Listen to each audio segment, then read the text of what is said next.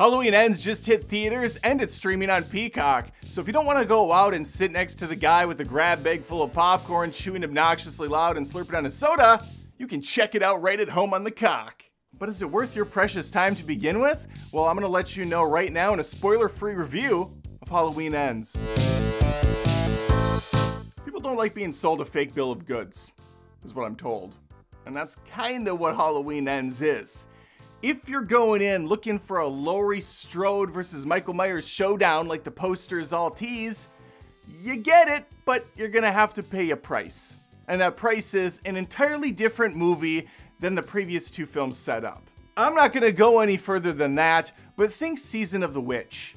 If you saw Halloween 3, think Rob Zombie's Hall. No, I would never compare it to those terrible films. I know some people like the Rob Zombie Halloween movies, and now there's for some reason a trend on Twitter right now where they're like, man, you guys owe Rob Zombie an apology. No, I don't. Just because a new movie comes out and it's not good in a lot of people's eyes doesn't mean you go back on another awful film and say, oh yeah, that was actually a work of art. That was actually a masterpiece. No, bad is bad, good is good subjectively speaking, let's move on. Here's my stance on movie franchises. They typically peak at one. Maybe you get a second film that's good in the mix. Usually by the third or fourth, it's a complete dumpster fire. There are exceptions. I think the Mission Impossible movies continue to be awesome. James Bond goes up and down. But for the most part, you're milking something that was never meant to be milked. Like a cat in Meet the Parents. With Halloween, that seems to be the case. The first movie's gold, it's the gold standard. Halloween 2 I thought was pretty awful. Then they go a different direction, and then there's like 45 more of them.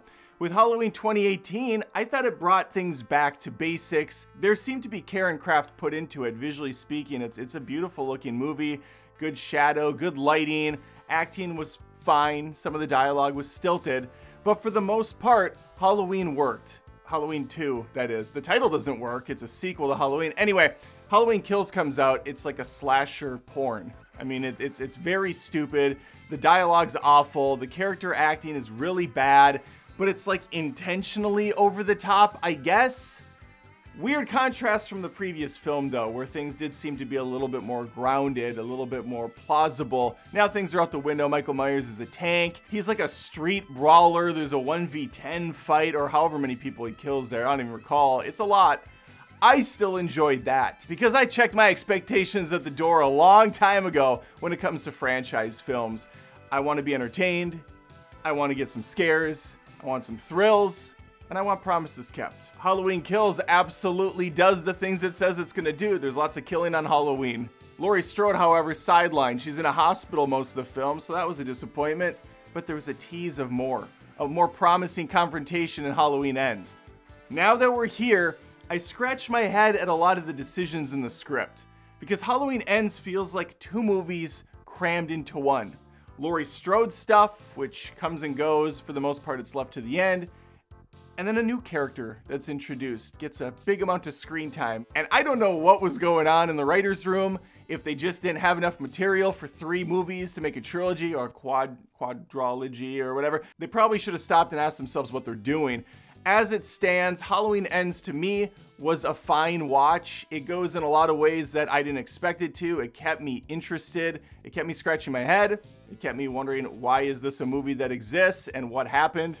I mean, it's a disaster, don't get me wrong. It's a glorious disaster, but I still was kind of like on board with it. Uh, not a lot adds up.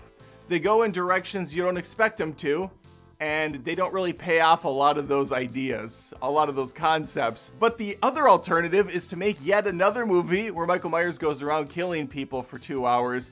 Another thing, this movie's too long.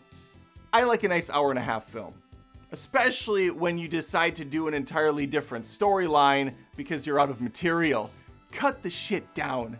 It's a horror film. It's a slasher. It's supposed to give you scares. Comedies should never overstay their welcome either. I think there's a couple unwritten laws when it comes to this type of stuff. Keep it short and simple and sweet. As we know, Jamie Lee Curtis is back, reprising her role as Laurie Strode for the 700th time. They'll keep her in this franchise until there's nothing left for Jamie Lee Curtis to give. Even if she doesn't survive this film, which I'm not going to tell you, they could find a way to bring her back. They'll use some sort of a resurrection stone, or maybe she does survive and she just goes on in a wheelchair fighting Michael until the ends of time. I mean, I'd probably still pay to see it. because Jamie Lee Curtis is awesome. She really is, and she's putting in the work here. With the limited screen time she has, she's still fantastic. Her daughter, not so much. Not so much for Allison. Actress is lovely. Her dialogue's really bad. Her character motivations are all over the place. It just doesn't translate well from script to screen. I'm gonna do a spoiler video on Halloween Ends in a few days, so make sure to subscribe because, uh, yeah, we're gonna have some fun with that one for sure. As it stands here, though, it looks good, sounds great. I actually had a buddy that went with me. He had a big chip on his shoulder going into this film. You can look him up on Spotify. His name is Sutter Kane. He also goes by DJ Bless. Uh, but Bless was very concerned going into this. He actually scored three songs for this film, and they ended up only using one of them, which was a bummer for him. Obviously, he got paid for all three.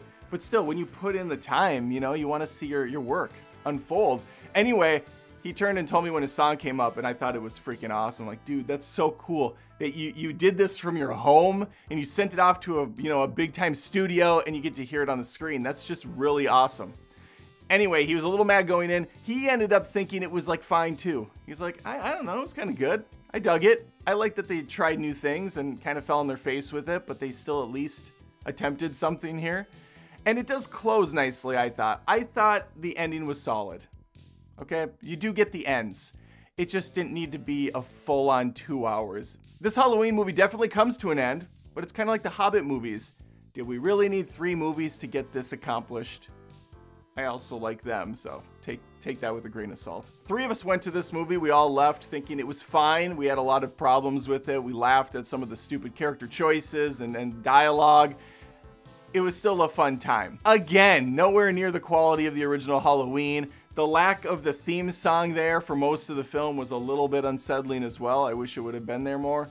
As for scares go, not much, but I don't find these movies scary to begin with. There is some great violence, there's some creative kills again, not as much as Halloween kills, but uh, when they show up, they're pretty solid. When we left the theater, there was three gentlemen outside talking. One guy absolutely hated it.